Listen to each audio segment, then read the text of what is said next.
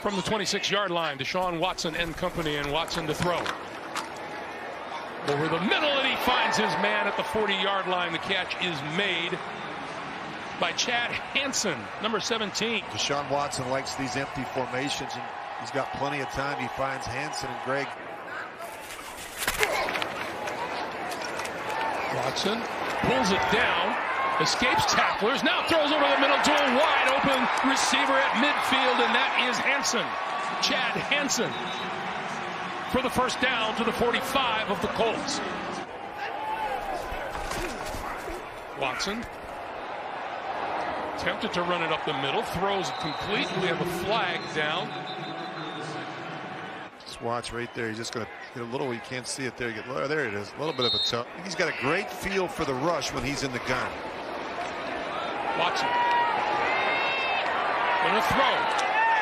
Tipped and caught at about the 15-yard line by Hansen.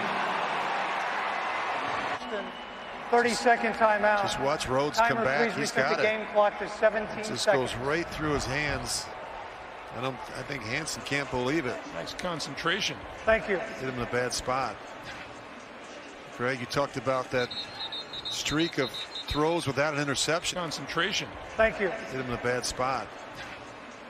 Greg, you talked about that streak of throws without an interception. Really thin at wide receiver now with without Brandin Cooks.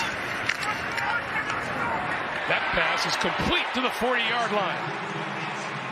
That catch is made by Chad Hansen. The other wide receivers available to Deshaun Watson. Yeah, a little different action here. You, you're gonna looks like run all the way and then just another way to change.